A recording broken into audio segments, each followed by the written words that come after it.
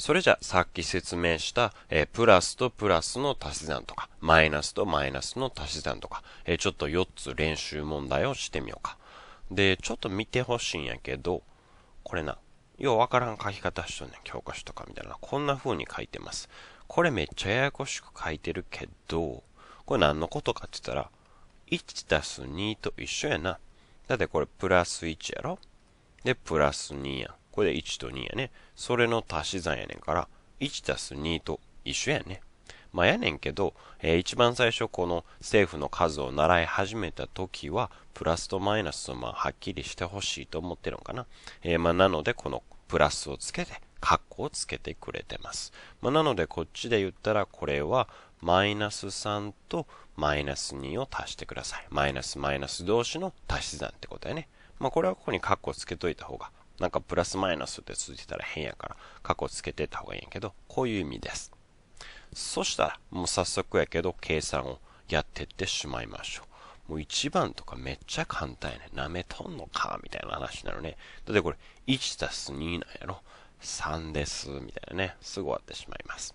そしたらこの2番やね。2番は新しいとこです。マイナスとマイナスの足し算やから、これどうなるんやったっけ？マイナスとマイナスの足し算は、数字の部分を足し算して、5やね。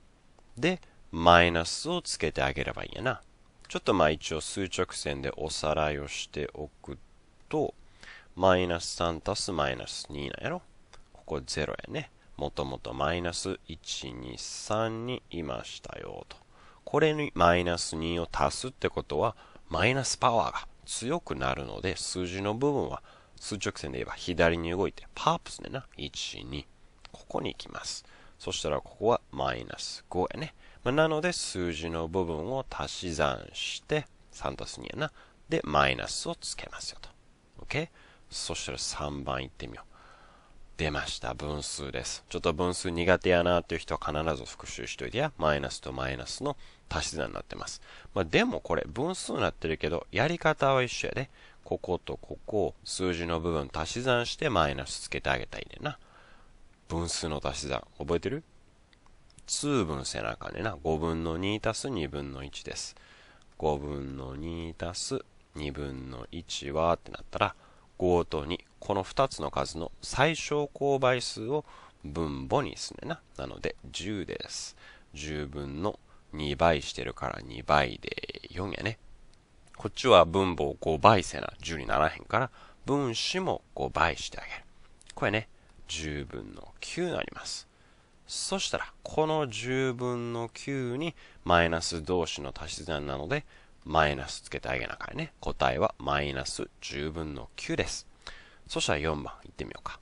これも小数出てきてるけど、マイナスとマイナスの足し算なので、数字の部分を足し算して、最後にマイナスつけてあげてねな。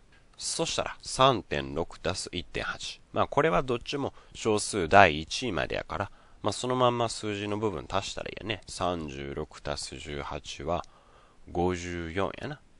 で、点を、まあ、ここにつけてあげたらいいですよと。同じとかやね。で、マイナスをつければ、マイナス5.4になります。こういうふうに、えー、正の数と正の数の足し算、負の数と負の数の足し算では、数字の部分を足して、で、符号、プラスの時はプラス。まあこれそのままやねんけど、マイナスの時はマイナスをつけてあげれば OK です。